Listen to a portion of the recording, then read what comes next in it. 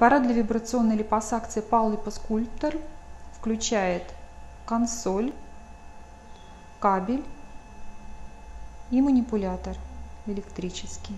Вставьте шнур питания, выходящий из задней стенки панели консоли, в настенную розетку. Соединение конюли к манипулятору PAL установите ползунковый переключатель режимов на манипуляторе в положении SF. Наденьте малый конец аспирационной трубки PAL на конец конюли и подсоедините конюлю к манипулятору, вставив штырь квадратного сечения на манипуляторе в квадратную соединительную втулку на конце конюли.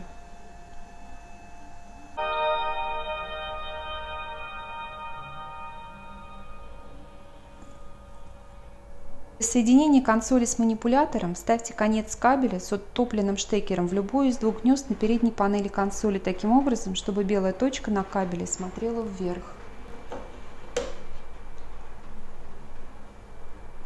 Другой конец кабеля подсоедините к манипулятору, совместив при этом красную точку на кабеле с красной точкой на манипуляторе. Осторожно переведите ползунковый переключатель режимов на манипуляторе с положения SF в положение RUN. Используйте ползунковый переключатель для регулирования скорости возвратно-поступательного движения конюли. При подготовке к стерилизации отсоедините конюли от манипулятора. И оденьте защитный колпачок на манипулятор.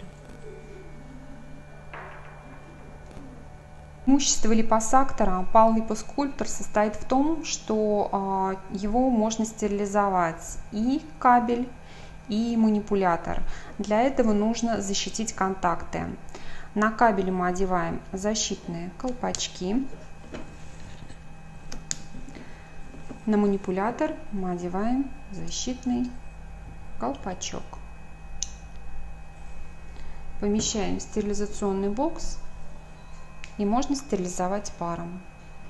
Для очистки манипулятора используется моющее средство с нейтральным pH.